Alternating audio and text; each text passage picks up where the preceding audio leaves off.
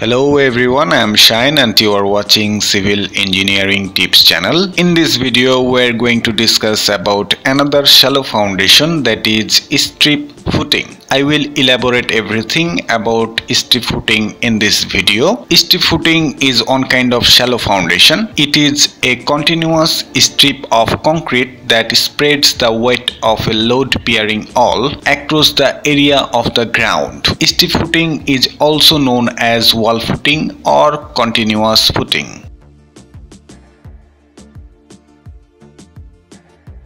Now let's discuss about where should we use strip footing. Strip footing is a very common type of footing when we have lighter type of walls that are extending down to our foundation. It is provided under the masonry or concrete wall.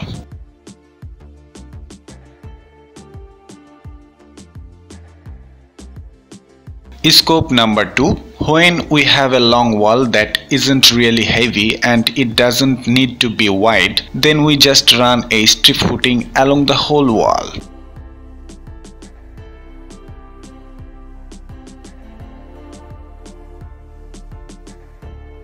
Scope number 3 Strip footing is used where soil bearing capacity is good. The width and type of reinforcement depend on the bearing capacity of soil.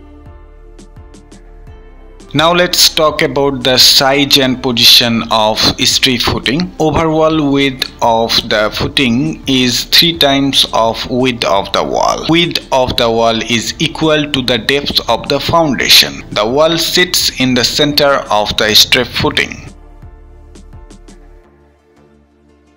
There is a little similarity with isolated or spread footing. Strip footing bends similarly to isolated or spread footing, creating tension at bottom. Hence, main reinforcement for strip footing is also placed at bottom. Here is an very important advantage of using strip footing that is Soil at some places has tendency for differential settlement. If that happens, two isolated or spread footings might settle unevenly. To avoid this uneven settlement, we can use a strip footing.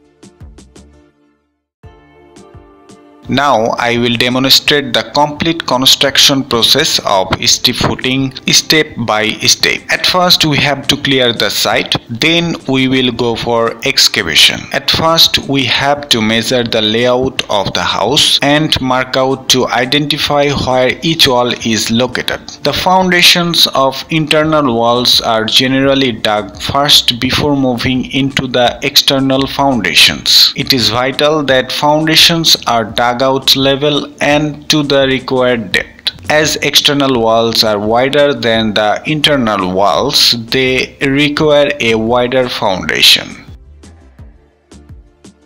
The next step is to lay off a layer of concrete that is lean concrete or simply you can say PCC that stands for plain cement concrete. Now it's time to set the formwork or shutterings after that we will place the spacer block to place the rebars. Now we will go for reinforcement.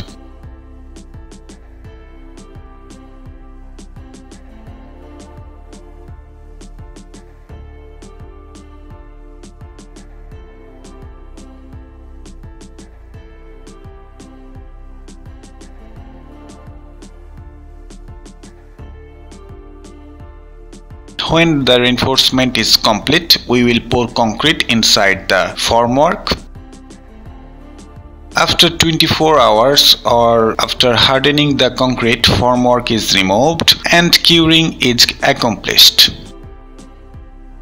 Then we will backfill four sides of strip footing. This is how we construct strip footing for our building and this is all for today. If you have any confusion or if you have any problem then please comment below or you can use the email address that I have given to description. Till then happy learning, keep practicing, see you in the next video.